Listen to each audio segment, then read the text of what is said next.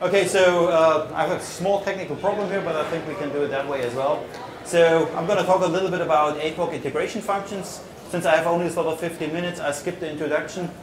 Uh, you can read that afterwards uh, when you get the slides. So what I want to talk is about, um, I want to give a little bit, very brief overview of uh, integration of Cypher uh, in terms of import-export of GraphML, import-export with Cypher directly. There's some functions for Elastic. There's something for Mongo.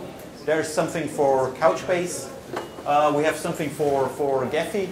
And the, the main part is about a demo on how to access data sources of JDBC from APOC, so how to import such data from your relational database, how to interact with um, stuff that you have in format of JSON available or from XML. Yeah, regarding GraphML, GraphML is, an, is, a kind of uh, standardized data exchange format, and therefore we support um, one function or one procedure that allows you to import GraphML data, and there's a bunch of features that allow you to export either the full graph or parts of that based on a Cypher query or based on, on, on a path you, you give in, uh, and that basically writes a file on the server. So currently there is, I'm not aware of an easy way to have back the, the file content as, as a download because it's, it's embedded in Cypher, so you always need to write a file somewhere on the file system of the server.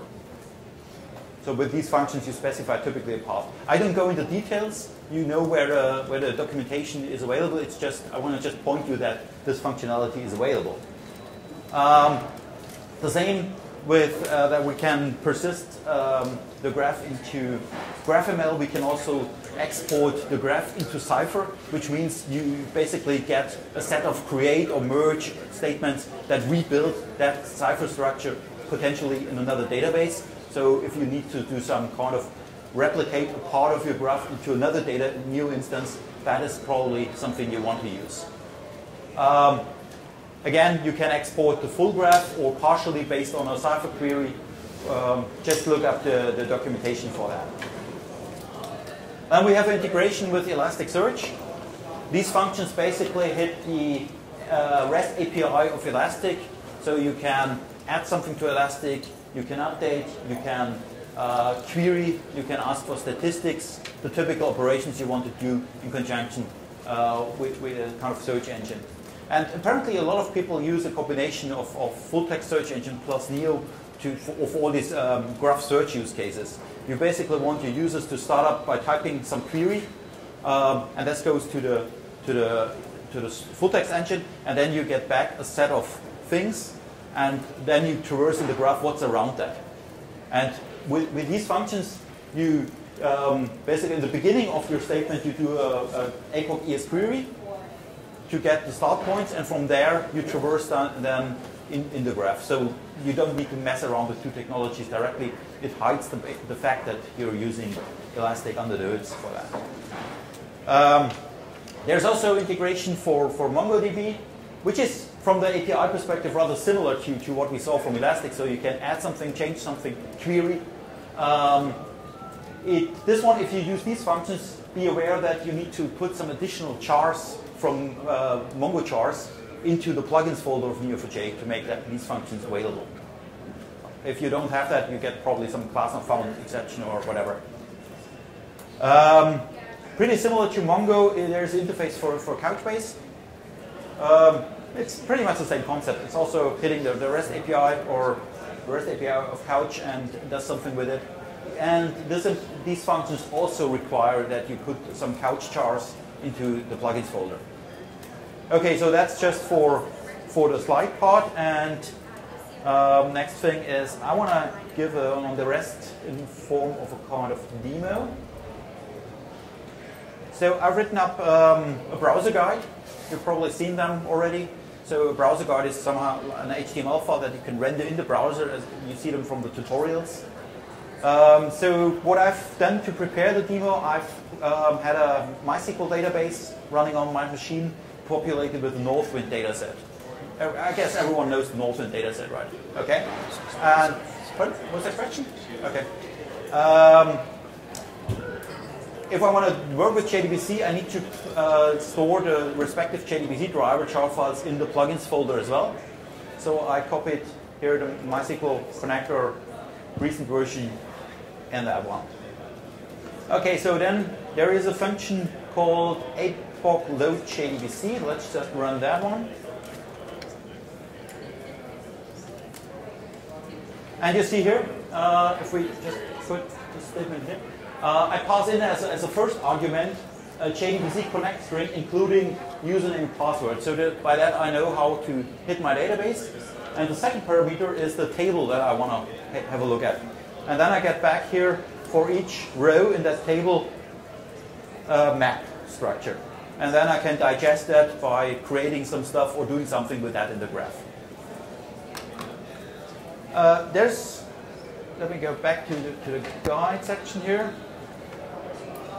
Instead of uh, accessing a table, you can also use as a second parameter uh, SQL statement that is then executed in the graph. So here I'm getting everything from customers and limit that to five. So I'm expecting five rows now. And you see here, getting five rows. Same data as previously.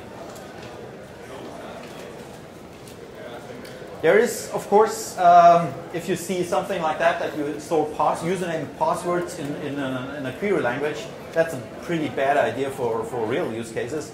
Therefore, um, you can put the configuration of the databases into the config file. So assume that you put a property called APOC JDBC and then the, the database alias name, URL, into the neo4j conf file, then you can just refer to that alias Northwind. So that corresponds to the third part here. Uh, then your statement um, gets much uh, slicker, and you don't need to hand out the, the, database passwords to developers. So you can easily separate operations from, from development here. And yeah, that would be basically a simple statement where you create for each row from the customers tables one customer node with a full data set. So this basically just puts every property that we have on the on, in the relational database into a property on the, on the node in the graph. Okay, a more complex example to um, that shows how you can link your data. So it's, of course, I need to run the previous statement. I didn't execute that. Um, then the second one will not work. That one here. Fire. Okay, we have a couple of nodes, and you see here the properties.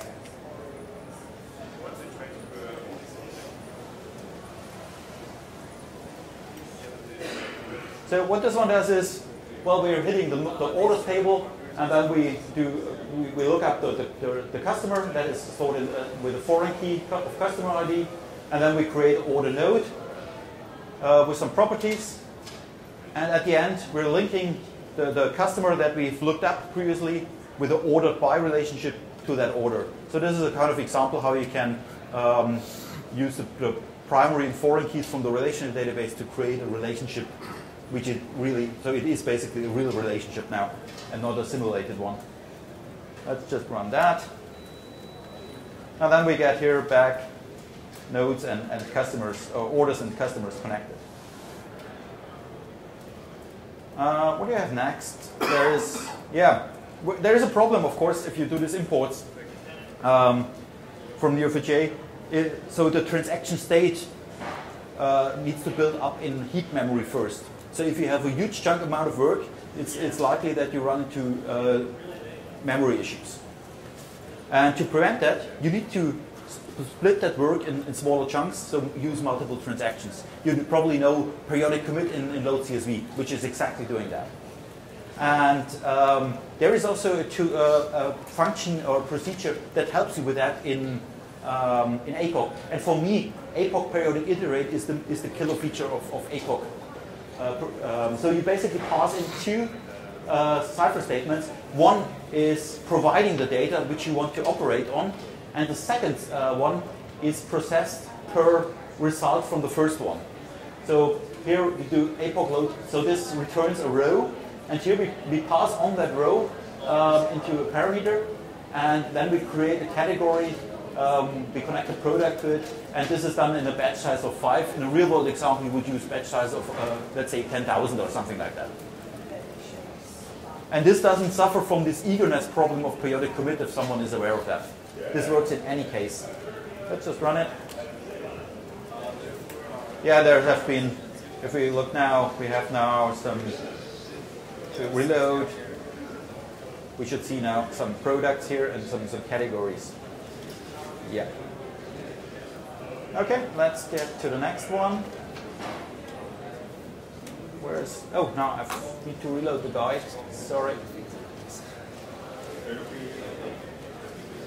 We will get stuck here, transaction size. And of course, this is not tied to, to JDBC. This, you can use the iterate with any kind of uh, function. Yeah.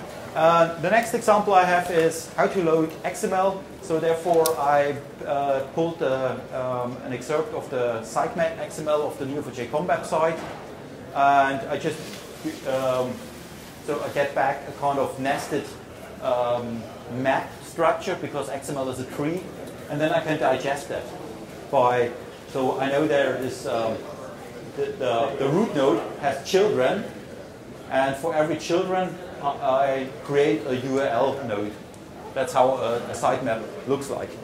Since I'm running short in time, I just need to skip over to the next one. Thank you. So there's also the same way we can digest XML, we can digest JSON. Was that a That was from the other side of the room.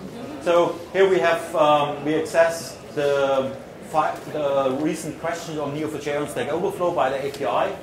And I just return them now that we see the structure of that.